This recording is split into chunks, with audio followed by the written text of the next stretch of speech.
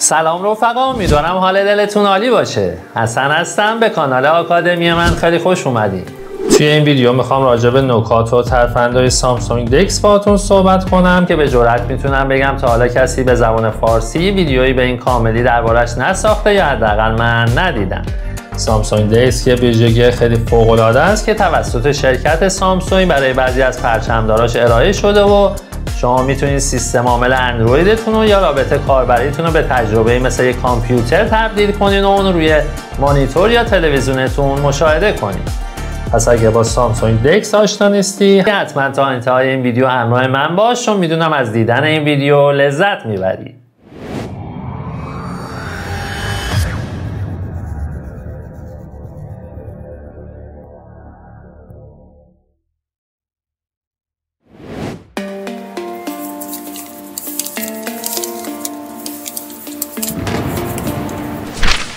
اولین سوالی که ممکنه براتون پیش بیاد اینه که حد اکثر رزولوشنی که این دکسمون می‌تونه روی مانیتور یا تلویزیونمون اجرا کنه چقدر هستش؟ این بستگی به نوع تلویزیون و مانیتورتون داره و البته کابلی که ازش استفاده می‌کنید خب من یکی از بهترین و معروفترین کابلای توی بازار رو الان تهیه کردم که همونطور که می‌بینید برندش مک دو هست و تا کیفیت 4K رو برامون پشتیبانی می‌کنه. یه سر این کابلمون USB Type C هست و یه سر دیگهش HDMI حالا اگه من وارد setting مون بشم و روی قسمت Samsung DeX ضربه بزنم اینجا یه قسمتی داریم به عنوان display resolution که اگه اونو بزنم اینجا دو تا حالت بهم نشون میده. یکی حالت HD Plus مون هست که 1600 در 900 هست و حالت Full HD مون که 1920 در 1080 من الان موبایل رو به تلویزیون وصل کردم و همونطور که می‌بینیم وارد setting مون اگه بشم و وارد سامسونگ DeX display resolution اگه باز کنم اینجا خیلی موارد بیشتری رو داره به من نشون میده و از کیفیت 4K هم اینجا پشتیبانی می‌کنه و می‌تونم اونو روی 4K قرار بدم و از کیفیتی که بهم میده کاملا لذت ببرم. نسبت های تصویر متفاوتی هم بهم میده 16 به 9 داره 16 به 10 و 21 به 9 که می‌تونم از هر کدومش که خواستم استفاده کنم.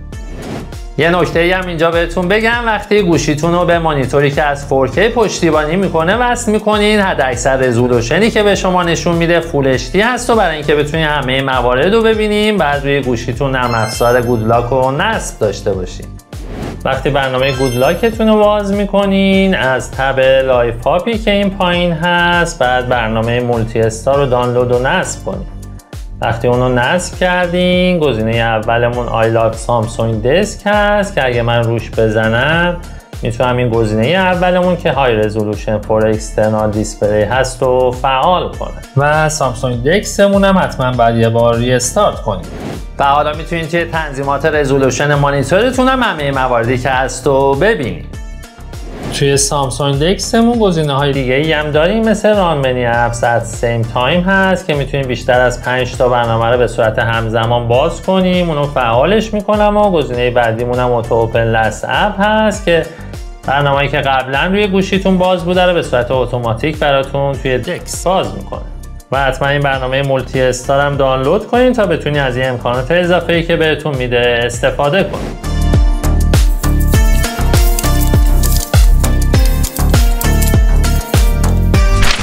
ترفند بعدی که می‌خوام بهتون بگم واقعا شگفت انگیزه و اسمش رو می‌تونید flow pointer یا نشانگر در جریان بذاریم و شما می‌تونید نشانگر موستون رو روی مانیتور گوشیتون به صورت همزمان کنترل کنید.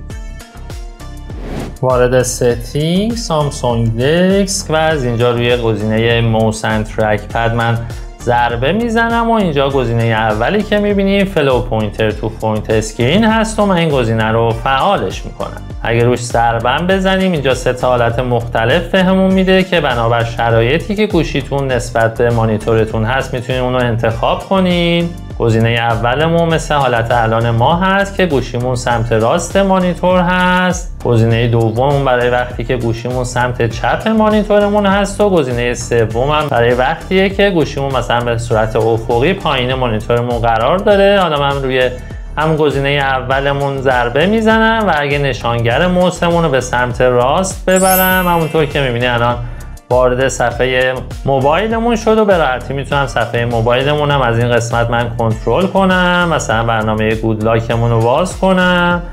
از اینجا می‌تونم هر برنامه ای که خواستم اجرا کنم و می‌تونم مجدد وارد صفحه نمایش هستیم بشم و از اینجا هم صفحه نمایشمون رو کنترل کنم. و این یه امکان خیلی فوق العاده که سامسونگ DX در اختیار ما قرار میده. تا الان من داشتم با موس بلوتوسی که به موبایلمون وصل کرده بودم صفحه نمایشمون رو کنترل می‌کردم و این سامسونگ DX یه امکانی بهمون میده تا صفحه نمایشمون رو بتونیم به یه حالت مثبتی در بیاریم. کافیه روی این مستطیلی که قسمت پایین سمت چپ هست من ضربه بزنم و الان صفحه نمایش گوشیمون رو به صورت مثبتی در آورد. اگه من انگشتم رو اینجا تکون بدم می‌بینیم که نشانگر موسمون هم داره تکون می‌خوره و به راحتی می‌تونیم با موبایلمون صفحه نمایشمون رو کنترل کنیم.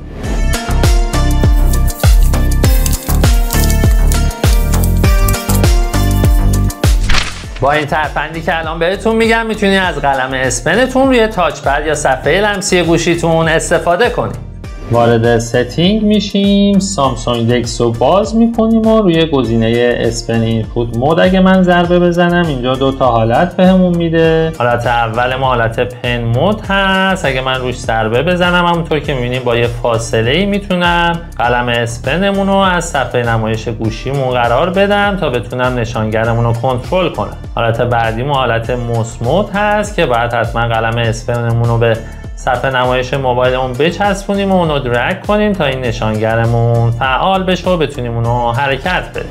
الان من می‌خوام این دوتا حالت رو براتون تست کنم. مثلا روی حالت پن مودمون میرم و یه نکته ای که باید دقت کنید حتما باید گوشیتون به صورت افقی نگه دارین و اگه من الان با یه فاصله ای همونطور که می‌بینین از گوشیمون قلم اسپنمون رو قرار بدم نشانگرمون هم داره تکون می‌خوره و می‌تونم اونو به راحتی کنترل کنم. اگر روی حالت مودمون هم برم دیگه اگه یه فاصله ای باشه می‌بینیم که نشانگرمون تکون نمی‌خوره و حتما بعد قلممون رو به صفحه نمایشمون بچسبونیم اونو درک کنیم تا اون نشانگرمون هم تکون بخوره و بتونیم الان صفحه نمایشمون رو تحت اختیارمون بگیریم و بتونیم هر کاری که می‌خوایم و با این قلم اسپنمون انجام بدیم.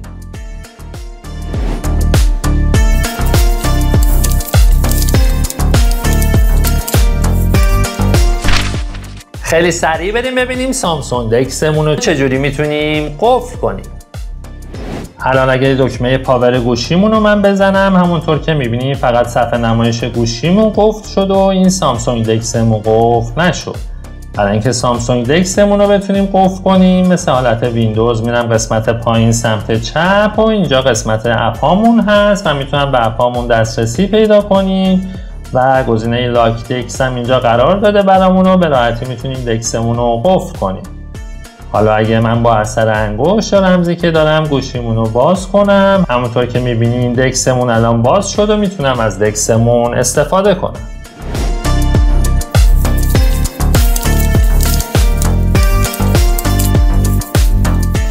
ترفند بعدیمون راجع به مولتی ویندوز هست. مثلا من میرم توی قسمت اپ هامون و اینجا دو تا اپ رو باز می‌کنم. به راحتی می‌تونیم هر اپی که دوست داشتیم حرکت بدیم. هر جایی که خواستیم قرارش بدیم و از این قسمت هم می‌تونیم تغییر سایزش بدیم و هر سایزی که دوست داشتیم اون پنجرمون رو بزرگ و کوچیک کنیم و یه نکته ای که اینجا هست اگه من این پنجرمون رو بگیرم و قسمت سمت راستمون بکشونم. همونطور که می‌بینه الان اونو به صورت نیم صفحه برای من قرار داد و سمت چپم می‌تونم یه اپلیکیشن دیگه ای قرار بدم و الان به صورت همزمان می‌تونم دو تا اپلیکیشن رو اینجا مدیریت کنم که این یه امکان فوق العاده که این سامسونگ DX در اختیارمون قرار میده.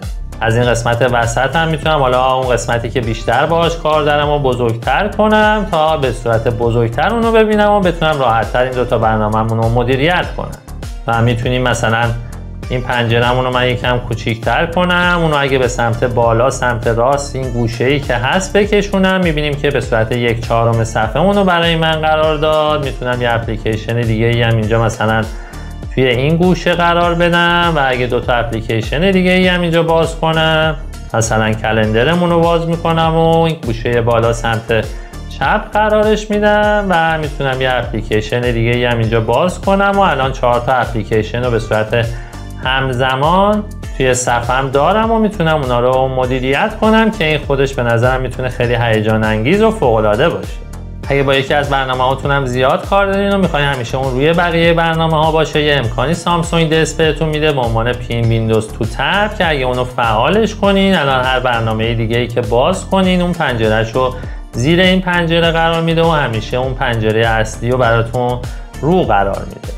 یه امکان دیگه ای هم سامسونگ DeX در اختیارمون می‌ذاره. این گزینه transparency هست که اگه من روش ضربه بزنم می‌تونم میزان شفافیت این پنجرمون رو کم و زیاد کنم و می‌تونم ببینم زیر این پنجرمون چه خبری هست. کاربردش حقیقت من خیلی متوجه نشدم ولی یه امکانی هست که سامسونگ DeX در اختیارمون قرار میده و می‌تونیم ازش استفاده کنیم.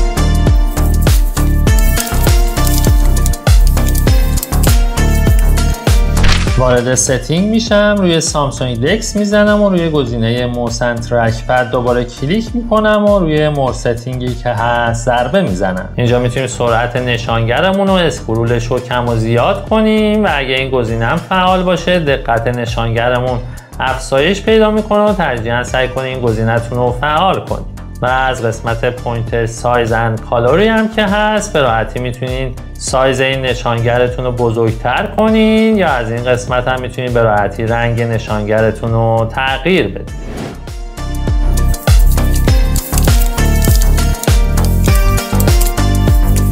برای اسکرین شات گرفتن هم سامسونگ DeX خیلی خیلی کارمون رو راحت کرده و کافیه از قسمت نوار ابزارمون روی این گزینه screen capture ی که هست ضربه بزنیم تا به راحتی و به سرعت از صفحه دسکتاپمون یه اسکرین شاتی بگیره و می‌تونین ازش استفاده کنید این ترفند خیلی ساده بود و بریم سراغ آخرین ترفندی که می‌خوام توی این ویدیو بهتون بگم.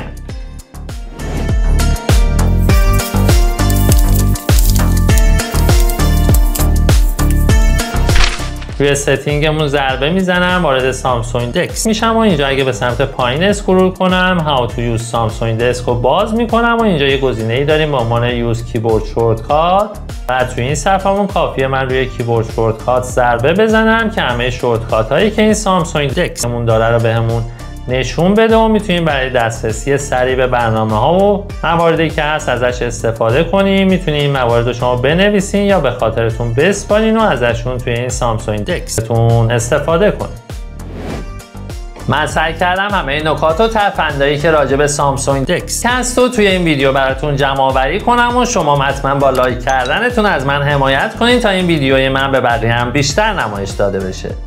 حتما کانال منم subscribe کنین و اون زنگوله کنارش هم بزنین تا از ویدیوهای بعدی که می‌ذارم عقب نیفتین.